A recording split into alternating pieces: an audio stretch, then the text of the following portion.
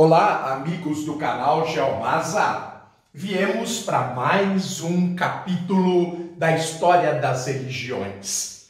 Nós que há muito desejávamos fazer esta história das religiões de forma analítica, de forma crítica, sem tomar posição ou preferência, mas sim contar a história das crenças e os seus valores.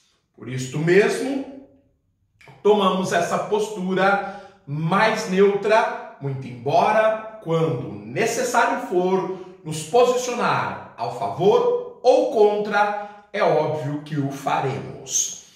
Meus caros, é bastante interessante começarmos, depois de termos feito aquela introdução, sobre o que estudaríamos sobre os valores embutido, embutidos neste estudo, é muito importante começarmos então para valer. Para isso, eu trouxe um pequeno texto. Esse texto ele inicia agora o nosso curso definitivamente a história das religiões.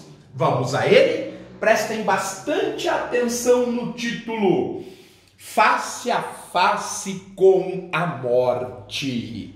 Duas histórias reais demonstram como a vida cotidiana pode estar interligada a profundas questões existenciais. A primeira se passou durante a Segunda Guerra Mundial e outra na América Central de nossos dias.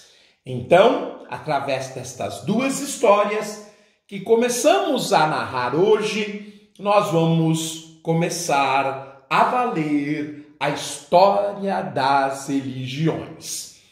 Quando Kim Maut Brun tinha 17 anos, a guerra estourou e ele testemunhou a profanação de importantes valores humanos por parte de uma potência estrangeira invasora.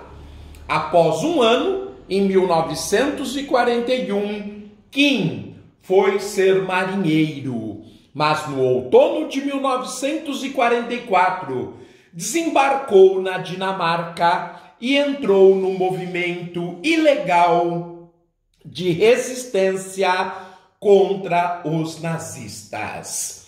Alguns meses depois, acabou preso pelos alemães e em abril de 1945 foi condenado à morte e fuzilado.